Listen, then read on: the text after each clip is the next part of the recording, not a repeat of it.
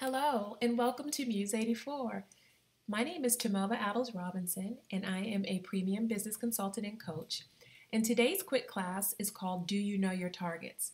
And this class is all about identifying and getting to know your target market and target audience to create the proper content that you need to engage your consumers and turn that interest into sales, right? Many times you all are creating content and you're thinking the content's just not working. I'm not getting likes, I'm not getting engagement, I'm not even getting views. And most times that's because you have not identified your target market.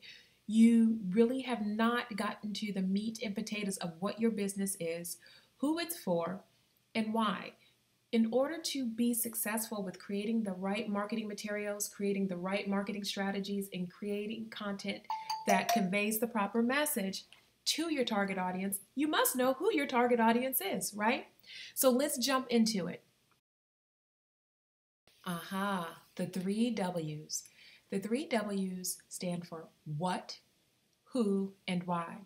What your product or service is, who your product or service is for and why. What problem are you solving for that target target market and what is the benefit to that market? Knowing the 3 W's is vital to your business. The 3 W's are the foundation of your business. It helps you to not only create proper content and marketing material, but it also helps you with investors and donors and just consumers in general. You must know your three W's. Again, your three W's are what your product or service is, who your product or service is for, and why. And the why is what problem are you solving for that target market and what is the benefit to that market. Take a few moments and just think about what your three W's are. Write them down because we're going to come back to them a little bit later, and we're also going to be using them in um, additional trainings that we will be doing throughout the month. Although we are touching on these three W's, the main W that we are focusing on for this training is the who. This is your target market, your target audience, your target consumer. That is what we are going to focus on for this training because you have to know who you're dealing with, who you're selling to, in order to create content that speaks to them and piques their interest. Let's jump into the who a little bit more deeply. Your target market. What is a target market? A target market is a particular group of consumers at which a product or service is aimed. A target market is the group of consumers you plan to sell and or reach with your content and other marketing strategies.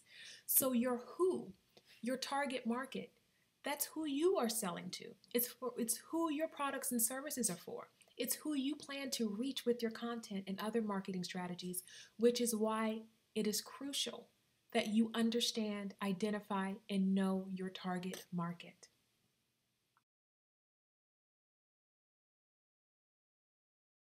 Now that we've touched on target market, let's go into your target audience. They are similar but not the same. Your target audience is a group within a target market that is being served advertisement. These are the consumers who are most likely to respond to your content and other marketing strategies. So your target audience is similar to your target market, but it is the group within that target market that is going to hear what you are saying, that is going to engage with you through your content and marketing strategies. Now, you are probably asking yourself, target audience, target market. Why are they important to me? These things are important because you must know who you're speaking to. Who are you creating your content for? Who are you creating your commercials for? Who are you selling to? Who are you wanting to buy? You have to know these things in order to be successful in sales, in order to be successful in your business, right? You can't have a successful business if you don't know who your product or service is for, if you don't know who you're trying to speak to through your marketing. Many of you create wonderful content, but because you don't know your target market and your target audience, you are spinning your tails with content that is not engaging, content that may pique interest to someone else, but not your target audience. So you must know your target audience and your target market before you begin creating marketing strategies and other content. So now that we've covered target market and your target audience, let's build your target consumer profile. Your target consumer profile is a person who fits the profile of your ideal customer and your target customer. Let's give this person a name and answer these questions. Who are your products or services for? Of course, give this person a name. You really need to dig deep when you're building your consumer profile. We wanted to make it as realistic as possible. What is this person like? What is this person's personality like? What is their daily life like? What is their income and lifestyle like? This is important for more than one reason. It's important so that you know how to better reach them your, through your content, but also when you are pricing your products and your services, you need to know what that person's income and lifestyle is like so that you price accordingly. What are their spending habits? What is their age? Are they male or female? Where do they live geographically? How do they earn a living? Do they watch TV or do they read more? What type of television shows do they watch? Why are they in the market for what your business provides, or why would they need what you are providing? What are they currently going through? Are they going through a crisis? Did they lose a loved one? Are they in a region that um, is in need of particular services or products and it's just not available in their area? What's going on in their life that they would need what you are providing? What problem does your product or service solve for this customer? This is the what in the three W's we, we spoke about earlier. How do they find what they need? Where do they go seeking solutions? Do they look on the internet? Do they do Google searches? Do they use word of mouth? How are they finding solutions to their problems? How do they choose or decide what to use for their particular needs or wants? Of course, you can answer more questions and tailor them to your particular consumer profile. This is just giving you an idea of how to build that consumer profile. Now let's go back a minute. When we speak about how do they find what they need or where do they go seeking solutions, this is going to help you with what platforms you use to market. Your particular target customer may use Facebook, while some other ones may use Instagram. Maybe someone does not use social media and they prefer text engagement or email engagement. So when you're answering these questions, think about that as well. Now that we've gone through those lessons, let's put it all into play. Next are some examples. We are going to discuss some imaginary business owners and look at what type of consumer or customer profile these business owners will have.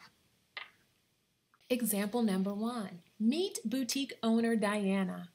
Diana opened a new online store selling clothing for the 40 and fabulous women who are looking for fabulous and stylish clothing and who do not want to shop the online boutiques that cater to the young partying crowd. She sells a variety of clothing, but her new product is her Curvy 40 jeans. After engaging with consumers and doing some market research, Diana found that women over 40 did not have many options in regards to stylish jeans that fit just right. She also found that many curvy women over 40 ended up purchasing jeans designed for the younger consumer and did not fit quite right. The in comes Curvy 40 jeans. Diana has done very well with this product and has marketed this product using creative content that speaks to her customers, curvy, stylish women over 40. In addition, when the women come to purchase the jeans, they are also shopping for additional clothing. Her creative, targeted content and marketing strategies drives traffic to her online boutique. The content she creates creates, which is geared towards her target market and audience, makes them aware of her new jeans and makes them feel like her jeans are the jeans they must have at all costs. Let's take a look to see how she does this. On the next slide, we will look at this shop owner's three W's. Now let's get into the three W's of example number one. The what? What is the product? Curvy 40 jeans, and of course, other clothing for the 40 and fabulous diva. The who? Curvy, stylish women over 40 looking for the perfect, well fitted pair of jeans. And now for the why. Well, there is a need for curvy 40 jeans because most of the jeans currently on the market are not designed for older curvy women. The ones that are on the market are for the younger curvy woman. In addition, jeans currently on the market are designed with the younger consumer in mind. Or, if they are designed for the mature woman, they are lackluster and frumpy, with no style at all, and they are not well fitting. Diana is providing a solution for women over 40 who are stylish, curvy, and want well fitting jeans without having to buy jeans meant for younger consumers. The benefit is that Diana is increasing these individuals' quality of life by supplying them with their need and want of stylish jeans for designed specifically for the curvy, over 40, and stylish crowd. Diana saw a gap in service and a need in the form of stylish, great fitting jeans for the curvy woman who was over 40. Diana is providing a solution to this, her, target market, who do not currently have options for stylish jeans that fit just right. Her target audience is, of course, as mentioned numerous times, stylish, curvy women who are over 40. Next, we will look at Diana's consumer profile to understand how she is successful with creating content that is engaging and that piques interest. Now let's take a look at Diana's target consumer customer profile. Again, a consumer profile is a profile of your ideal consumer. It goes into their income, their daily life, what they like, what they don't like, how they like to receive information, what they do on the weekends, the problems they may be experiencing, the type of family structure they have, any type of issue they have. It's their characteristics and everything about that customer. And this is essential, and we'll talk about that a little bit after we go over Diana's target consumer profile. And remember, a target consumer profile is just a made up person, but the characteristics and the profile is that of your ideal client. So, for ta- Diana's target consumer profile, the customer's name is Alexandria. We like to give the customer a name so it feels more realistic and so that you can dive deeper into their likes, dislikes, and all of the characteristics about them. So this customer's name is Alexandria.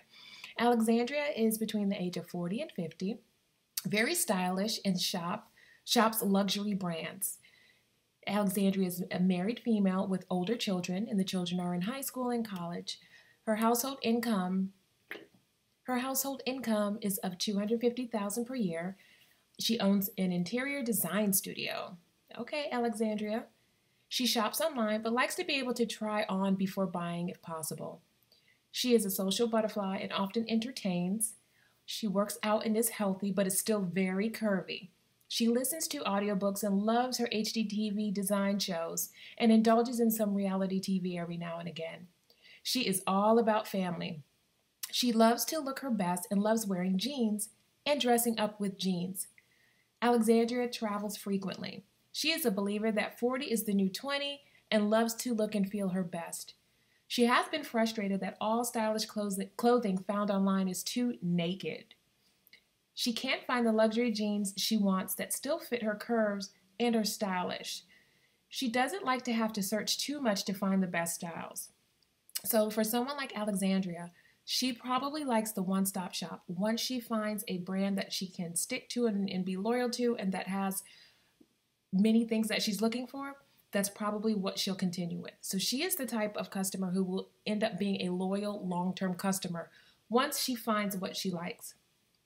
And Alexandria has no problem spending money on what she wants. She lives in Hamden, Connecticut. She uses all social, social media, but she prefer, prefers Zoom, FaceTime, text, or email. Next, we will talk about why all of the above matters. Now, all of the above characteristics for Alexandria matter because this teaches you how to engage with your consumer. This teaches you how to create content that speaks to her and not and also how to deliver that content.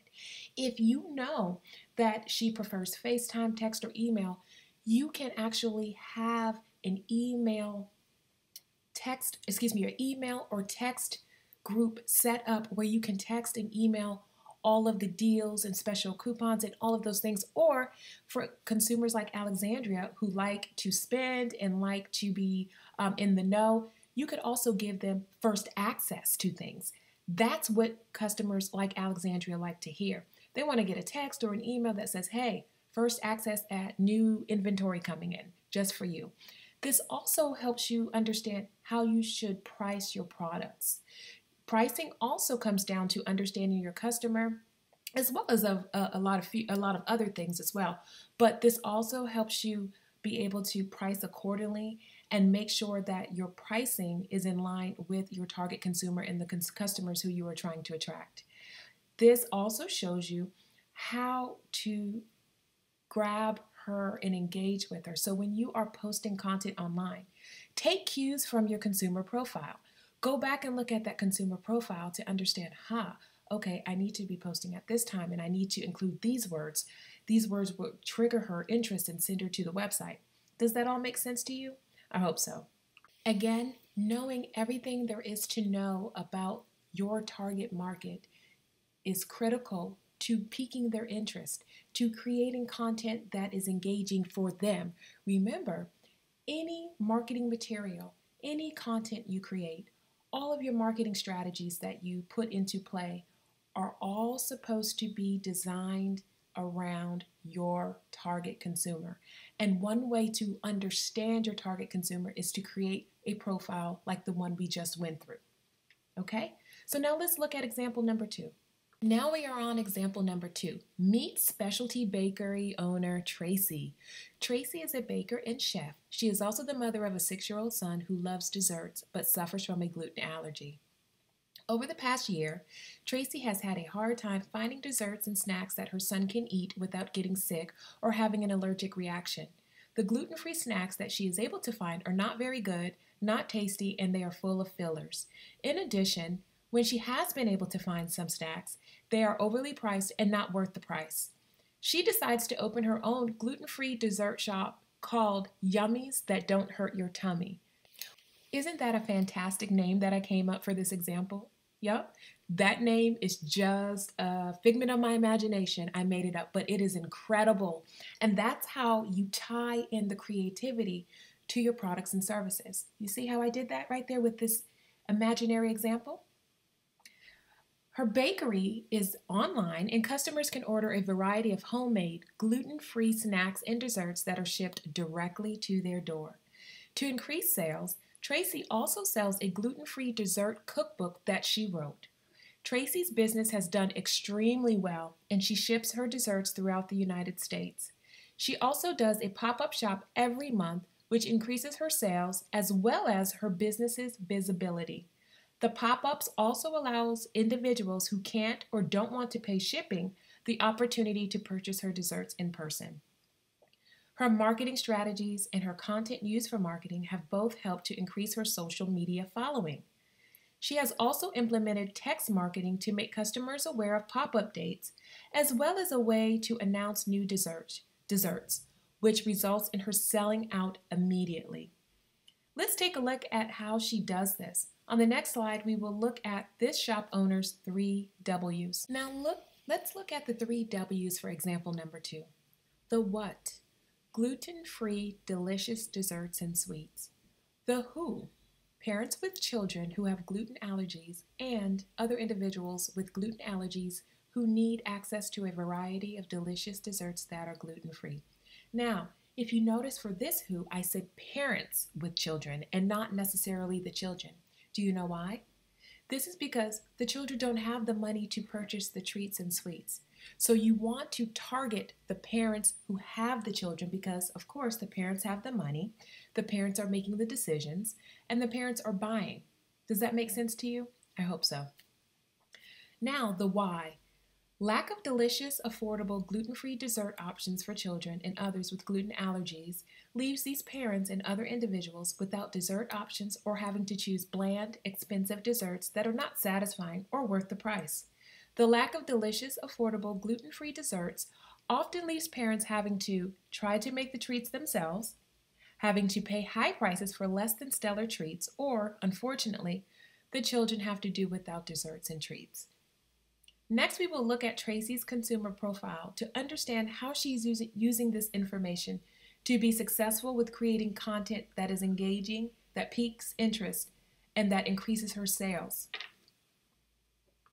Now let's take a look at Tracy's target consumer profile. This customer's name, and of course remember, these are fictitious customers. It, this customer's name is Raya. Raya is a single mother of three children, of which two have gluten allergies but still like desserts and treats. She is an engineer and works from home and also owns a party planning business for children with special needs. She cooks family meals often due to her children's allergies, but she also pays for chef prepared meals that she can order and serve. She loves to throw her children themed parties every month. She has a hard time finding food that her children can eat, including desserts. She is tired of having to try to make gluten free desserts herself, and she's also tired of paying very high prices to order them. She has a very busy schedule and doesn't have much assistance. She cooks her meals as far as ahead as possible. She uses social media except for Twitter and TikTok. Her household income is 250,000 a year. She watches Netflix, Hulu, and Apple TV. She often is she, she is often on the go, so she usually communicates via text or email. She doesn't like having to talk on the phone if it isn't necessary. Busy woman lives in New Rochelle, New York, has a hard time finding healthier dessert options that are gluten free for her children, as well as for her clients of her party planning business. So you see, this consumer profile is a little bit different than the other, of course, because it's different companies, different products, different services. But as you can see, this consumer profile is a perfect fit, and this is the ideal customer for Tracy and her desserts. And again, why does the above matter when it comes to content creation? Well, it matters because this is the information you use to create content, to write the copy. Copy are just the words you use to persuade someone to do something when you are creating your marketing material. Knowing your customer, who they are, what they like, how they like to receive information, what problems are they solving helps you better not only how you deliver your products and services, but it also helps you be creative in what you are going to say in your content, how you are going to create the content that speaks and stands out, and how you are going to engage and attract your customers to turn that interest into likes and sales. And as you may have guessed, for a company like the one Tracy owns, there is another customer base, and those are the adult individuals who have allergies, um, gluten allergies, but who are looking for treats and desserts. But her primary customer are the children. So, of course, the parents of the children. And as you can see from this consumer profile, this individual fits right up the alley of who Tracy is trying to serve. So, when Tracy is creating her content, when Tracy is posting about her desserts and treats, Raya is the type of customer Tracy has in mind. Now, after all of that, let's wrap it up. I told you this class was going to be very quick and to the point, and that's exactly what we did. Why did we go through all of that? Well, we did that so that you understand the foundation that you have to have in place before you try marketing, before you start buying ads on Facebook and Instagram, before you start spending hours and hours and hours on Canva and all types of other tools trying to create content. Before you do any of that, you have to know your three W's. And most importantly, for marketing and creating content, you have to know and understand your target market and target audience. You have to know who you're speaking to, who you're selling to, what they like, what they don't like, what their needs are, what their challenges are, what's available to them on the market, what's not available to them on the market, how they like to receive their information. All of these things are necessary in order for you to create the content and properly convey the message so that you pique interest, so that they hear you, and so that they start following, listening, and buying from you. So we went through all of that to get here so you understand exactly what you need to know in order to create the proper content. I hope this training helped you understand the foundation necessary. I hope this training helped you identify your target market, help you create a consumer profile, and understand how all of that works together to make sure that your business is not only successful, but is resilient and can bring in increasing revenue for years to come. And in order to do that, I tell people you must be able to create content that is engaging and content that can help you convert interest, likes, or whatever into sales and long term loyal customers. Okay? So thank you for joining me. And thank you so much for watching. You can reach me on social media. I'm on Facebook under Life with Tomova. I'm on Instagram under MuseU84, as well as my personal Instagram, Tomova Addles. And of course, you can always go to my website, www.muse84.com. And as mentioned at the beginning of this training and class, this is a Muse 84 training and class, and all rights are reserved. No parts of any of these documents, audio, or visuals may be reproduced or shared without expressed written consent from me, Tomova Addles of Muse 84. Thank you.